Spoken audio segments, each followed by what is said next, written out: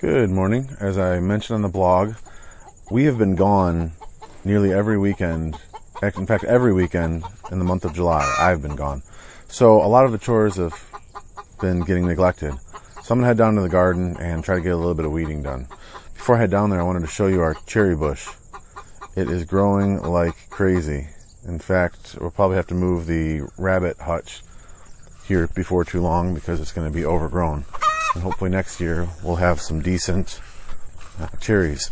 So let's head down to the garden.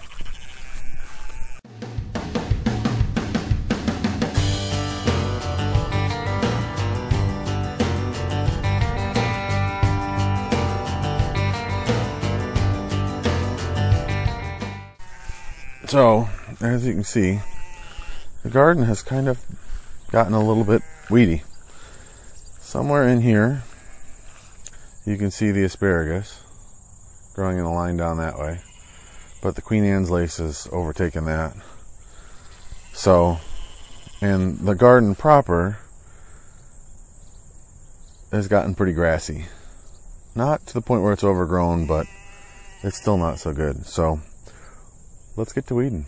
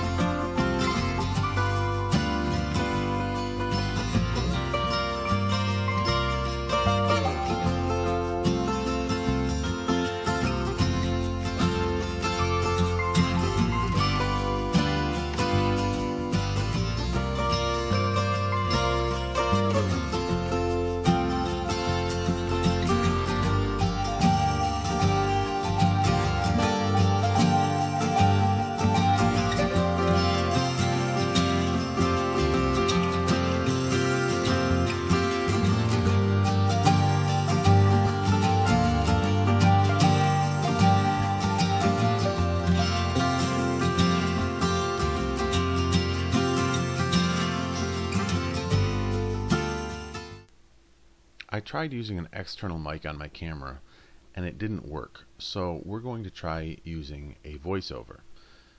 While I was able to weed for about a half an hour, uh, which is about the amount of time that I thought I had with the kids being occupied, and you probably can't tell much difference from the beginning to now, I was able to get uh, weeded around a lot of the plants to give them some space and some sunlight, um, but I'm never going to get it back ahead of all of these weeds. So I did want to show you that when I was planting the garden, I had some extra space and some extra cilantro seeds, so I just made a trough with the uh, shovel I was using and was able to plant, I think, three lines of cilantro here, and they're growing, and then another line of cilantro over on this side, and it's growing just fine. You know, I was just able to throw it down.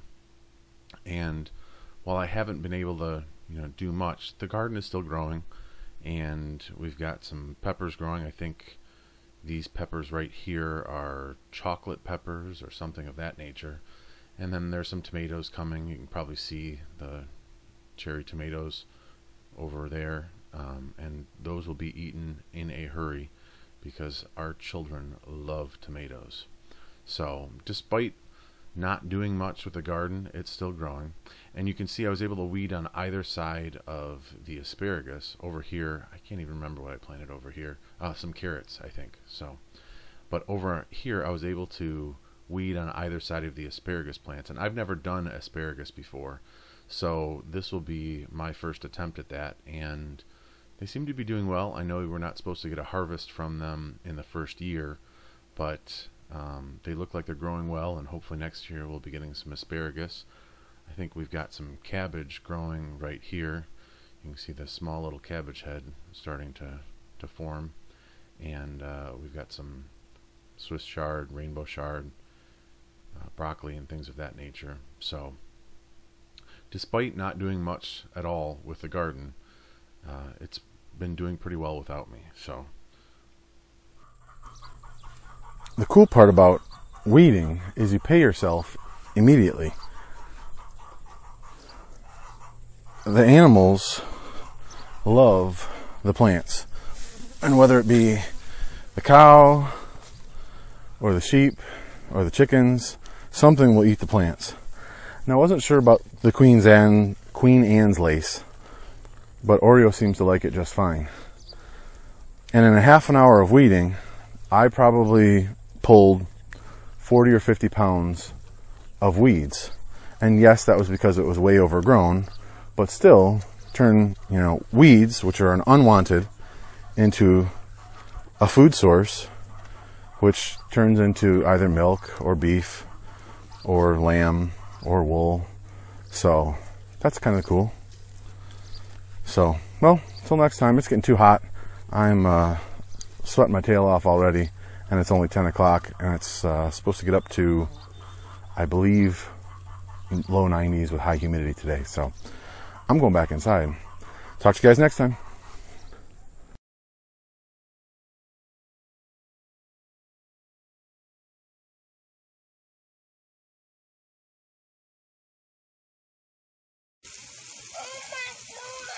I chose the wrong footwear for gardening.